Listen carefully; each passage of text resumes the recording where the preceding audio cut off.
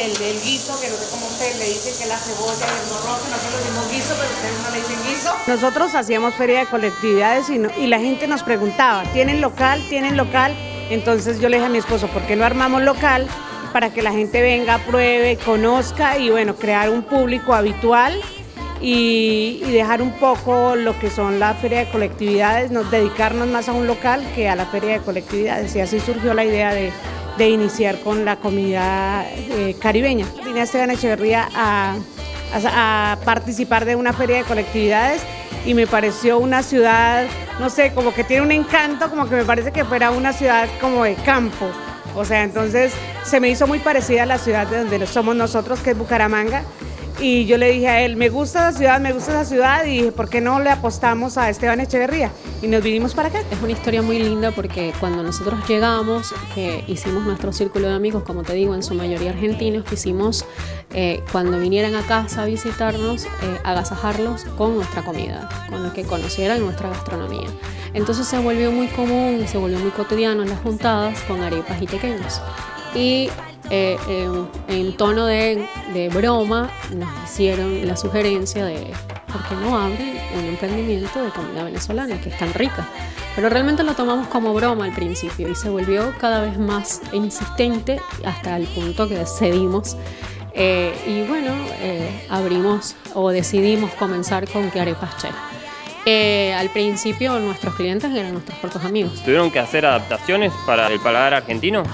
Eh, sí, se hicieron pequeñas modificaciones. O sea, el argentino no mmm, come, no está acostumbrado al picante. Eh, la base de la comida es la misma. La diferencia es que vos cuando sacás un taco en México ya lo sacás picante. Y ahora acá preparas la carnica, preparas el taco pastor, preparas taco vegano, vegetariano, pero sale sin picante y le agregas el picante a gusto del cliente. La verdad es que no, no mucho. Eh, nosotros eh, no comemos con picante, por ejemplo, que hemos acostumbrado o hemos escuchado de algunos argentinos que no comen mucho picante, así que no, en esa parte eh, fue muy poca. Lo que quisimos sí adaptar fue fusionar un poco los gustos de las carnes. Eh, nosotros manejamos, eh, trabajamos con pollo, con carne y con bondiola. Venezuela no está acostumbrada a utilizar bondiola, no manejamos la bondiola. Entonces quisimos incluirla como para hacer también eh, perteneciente lo que es nuestra cultura con la cultura argentina. Pero en sabores no, siguen siendo los mismos. El argentino es, tiene un paladar de, de que está acostumbrado a comer siempre lo mismo.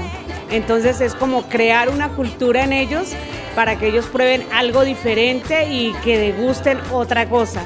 Y bueno, y esto ha, sí, nos ha costado un poco porque no quieren probar otra cosa, pero cuando lo prueban se quedan y vuelven y le cuentan a otra persona y bueno, eso es como una motivación para uno para seguir uno preparando y que la gente siga conociendo lo de uno. Nos sentimos orgullosos de poder traer nuestra gastronomía argentina, un país que nos abrió las puertas y sentimos mucho cariño, sentimos mucho aprecio por, por el país y por su gente y quisimos de alguna manera que también pudiesen conocer, conocer nuestra cultura, eh, nuestra gastronomía específicamente, que es con la que nosotros trabajamos, y eh, se sientan identificados también y nos permitan de alguna manera llegar a su mesa con lo que nosotros nos, lo que amamos, porque la arepa es para nosotros eh, nuestra comida diaria.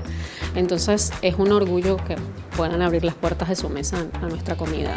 Sin duda, enaltecer no solamente la cultura nuestra, sino fusionar, como te digo, que Arepas Che es una fusión o es lo que quisimos hacer, una fusión de Argentina con Venezuela.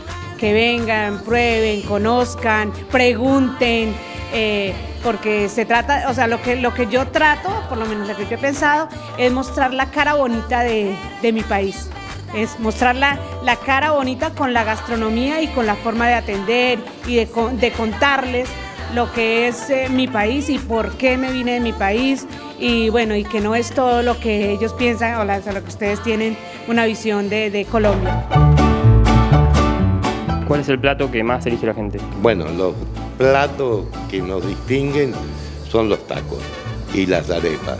Después los burritos, las enchiladas, el ceviche es algo que sale mucho, la jalea, porque hoy la comida peruana es una de las que más se implementó en la Argentina.